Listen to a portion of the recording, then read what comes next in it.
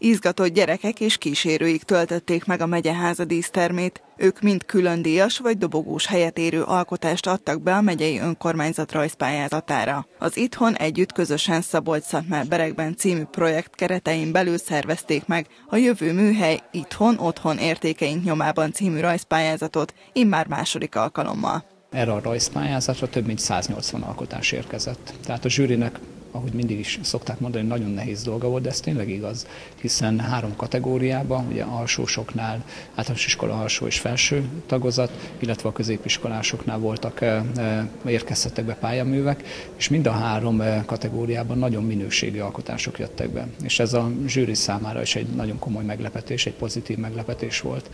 Egyébként a pályázatnak a célja az volt, hogy mutassák meg a gyerekek azokat az értékeket, amelyeket ők akár a megyei értéktárban vagy hungarikumként fontosnak tartanak, vagy ami őket körülveszi. A zsűri azt tapasztalta, hogy a fiatalok értik és érzik a megyei értékek fontosságát, és a különböző technikákkal saját szemüvegükön át láttatni is tudják ezeket. A legfontosabb dolog az volt, hogy a kiírt pályázatnak megfeleljen, tehát hogy a témáról, és nagyon, nagyon érdekes volt, mert a gyerekek nagyon-nagyon érezték, ugye, hát, és ez, ez egy bizonyos szempontból jó is volt, hogy, hogy, hogy, hogy olyan különleges módon fogták meg a, a, ugye a megyénknek a tájegységeit, jellegzetességeit. Ez volt az egyik bírálási mód, a másik pedig a, az, hogy, hogy milyen rajzeszközökkel, meg egyáltalán, hogy, hogy hogyan jelenítették ezt meg és volt közöttük kifejezetten olyan ö, ö,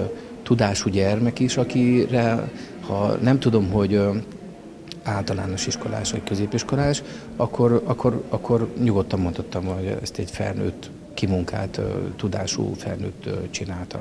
Az alsó tagozatosok győztese több rajzot is beküldött, egyet például a református templomról. Tanárnéni mondta az ötleteket, és akkor mondtam neki, hogy én akkor ezt szeretném megcsinálni.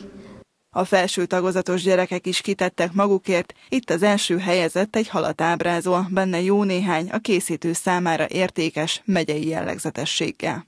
A legérdekesebbnek én a csónakfás temetőt találtam mert igazából azok ilyen arcokat ábrázolnak, de közben olyanok, mint egy csónak.